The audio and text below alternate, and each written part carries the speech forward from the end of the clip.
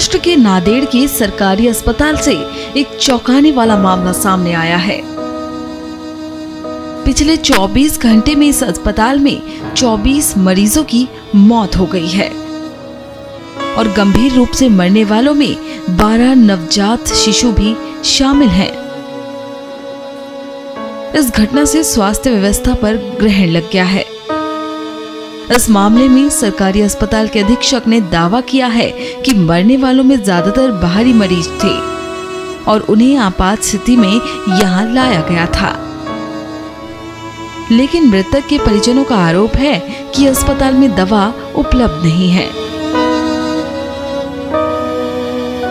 अपना जो doctor Shankara Chauhan government medical college और हॉस्पिटल है, ये एक टर्शरी लेवल केयर है। यहाँ पे पूरे नज़दीक वाले जो डिस्ट्रिक्ट्स है, हिंगोली, परभनी यवतमाल में के पुसद, उमरखेड़, ये तेलंगाना का कुछ पार्ट है, निर्मल भैंसा लातूर की तरफ़ अहमदपुर वगैरह, ये सब तरह जगह से यहाँ पे सीरियस कंडीशन में पेशेंट्स एक तो बाहर वाले प्रैक्टिशनर्स या हमारे पेरिफेरल जो हॉस्पिटल है, वहाँ से रेफ़र किए जाते अब इसमें से ये जो 24 24 आवर्स में डेथ हुए थे। बोले तो 30 सितंबर के 12 बजे से लेके एक अक्टूबर के 12 बजे तक, ये 24 घंटे में 24 डेथ हुए।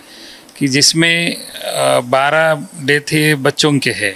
तो लेकिन इसमें भी कैसा है कि बच्चों की उम्र जो है, पैदा होके एक दो दिन के, समझो, ऐसे दो दिन के, तीन दिन के ऐसे बच्चे थे। और इनका जन्म होने के तब वज़न बहुत कम था प्री मैच्योर बेबी जो बोलते तो ऐसे प्री मैच्योर बेबी में नेचुरली उनका श्वास लेना या ना फेफड़े वगैरह पूरे डेवलप नहीं होते तो ऐसे बेबीज़ का भी डेथ हुए वाला है। और एक बेबी का ऑपरेशन किया था हर्निया का डायफ्रामेटिक हर्निया, वो बाहर से करके हमारे पास आए थे। तो ये इसमें से परभनी वगैरह सब तरीके जगह से यहाँ पे आए वाले ये बच्चे बारह गए हैं। यहाँ कोई ऐसा एकदम से हादसा नहीं हुआ है कि किसी इन्फेक्शन की वजह से ऐसा।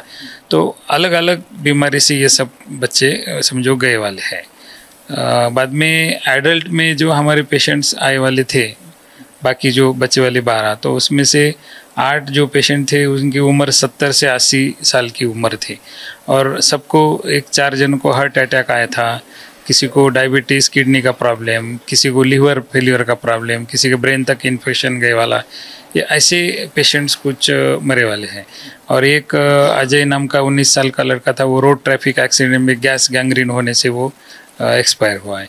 एक 80 साल की लेडीज़ आई थी, उसको भी सेप्टिसिम है यानी कि इन्फेक्शन का आखिरी जो रहता है, वो ऐसा हुआ है। तो यहाँ पे एकदम सीरियस कंडीशन में पेशेंट आने की वजह से उनको ट्रीटमेंट तो पूरी है। डॉक्टर की कमी नहीं है दवाइयों की भी कुछ कमी नहीं है। सब पूरी केयर लेने के बावजूद भी पेशेंट की बॉडी ने ट्रीटमेंट को रिस्पॉन्ड नहीं किया। इसलिए इनके डेथ हुए वाले हैं। नहीं सीरियस पेशेंट के लिए मेडिसिन की कोई इतनी कमी नहीं है। सब पूरा सबका ट्रीटमेंट और इलाज चालू है।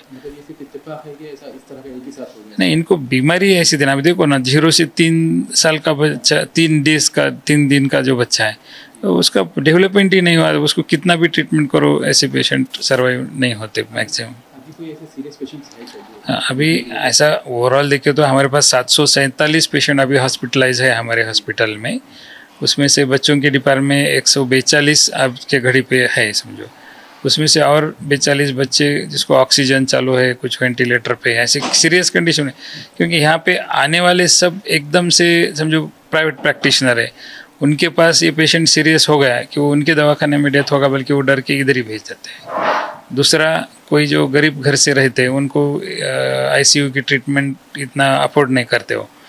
तो दो दो, तीन तीन हज़ार, चार हज़ार ऐसा पर डे किस खर्चा नहीं कर सके इसलिए वो भी सीरियस कंडीशन में आखिरी हमारे पास ही आते अभी इसलिए वो कैसा है कि ये पेशेंट को बीमारी ही वैसी थी। यहाँ पे कोई नेग्लिजेंस या किस दवाई की कमी, ये रीज़न नहीं इनके डेथ में। ऐसा है।